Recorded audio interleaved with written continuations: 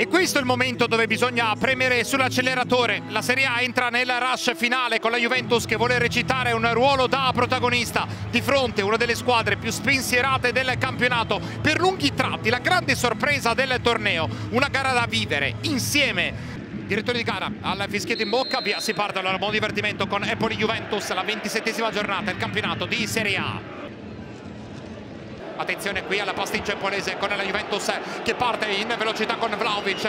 Vlaovic dentro per Zaccaria, Zaccaria, Zaccaria, Zaccaria! La parata di calcio d'angolo, occasione enorme per la Juventus con Dennis Zaccaria vicino al gol del vantaggio.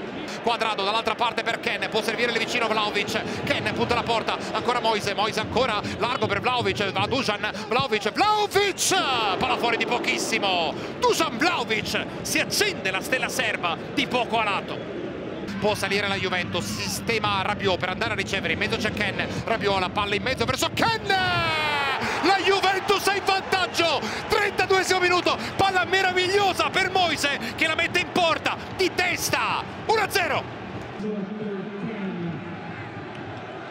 Bairami, eccola qua la sua parabola, colpo di testa, palla che rimane lì, attenzione, Zurkowski, palla in rete, il pareggio dell'Empoli, ha segnato Zurkowski, 39 minuto, 1 a 1 il punteggio. Quadrado, Quadrado punta la porta, va Juan, Quadrado, Quadrado dentro per Vlaovic, Vlaovic, Vlaovic! La Juventus è in vantaggio, è una sentenza, Dusan Vlaovic, 47 minuto, segna sempre, segna sempre, 2 a 1 ha mandato al VAR sia Ismaili che Vicario e ha messo in porta il gol del 2-1 quanto è forte Dusan Vlaovic Quadrado nuovamente per Morata, si distende molto bene la Juventus, Valvaro, Morata, Morata, Morata dentro per Vlaovic, Vlaovic, Vlaovic! Dusan!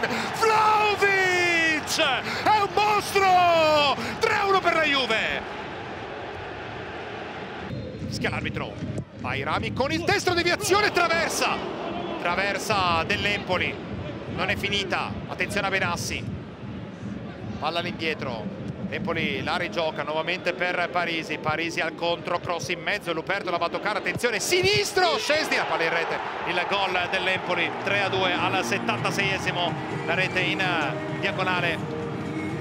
Siglata dalla Mantia 3 a 2 l'Empoli ci riprova con la manovra che nuovamente ruota verso sinistra. Parisi, Parisi la mette in mezzo deviazione, palla fuori di pochissimo. Vicino al gol ancora la Mantia. Finisce qui la partita la Juventus sbanca il Carlo Castellani di Empoli. Vince 3 a 2 una gara molto difficile